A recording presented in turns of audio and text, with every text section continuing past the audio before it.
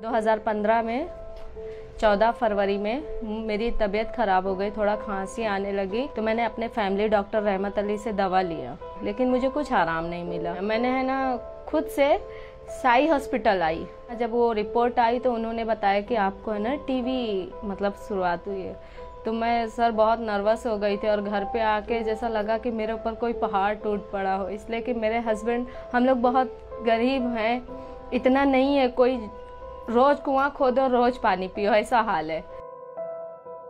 TB is really a big issue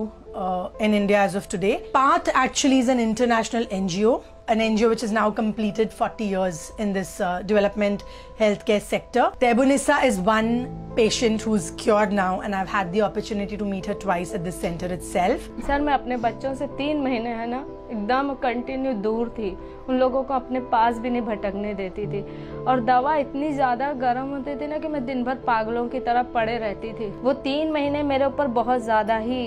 तकलीफ़ वाले गुजरे हैं PATH provides solutions through this program which we called as the PPIA, that is the Private Provider Interface Agency. The PPIA is a broader concept under the umbrella of Mumbai Mission for TB Control. अगर इस society इस पूरे area का अगर आप सर्वे करेंगे ना तो आपको मेरे ख्याल से पाँच में से तीन आदमी को ट्यूबरकुलोसिस का प्रॉब्लम आएगा बात इसमें क्या रोल करता है free x ray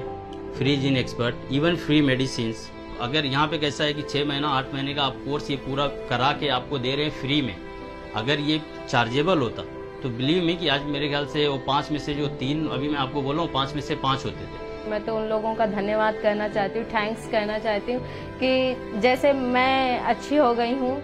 इस इलाज से कि डरती थी कि इसमें बहुत ज़्यादा पैसे वगैरह लगेंगे, लेकिन ये जो टेस्ट वगैरह मेरा बहुत सब फ्री हुआ है तो इसके लिए मुझे थैंक्स बोलना है। आप लोग इतना कर रहे हो, आप लोग का थैंक्स की फ्री टेस्ट हो रहा है फ्री इलाज हो रहा है अब इस कदर आप लोग और हम सब मिलकर मेहनत करें कि इस टीवी का नामो निशान मिटा दें दुनिया से it feels really good that the work that the team is putting in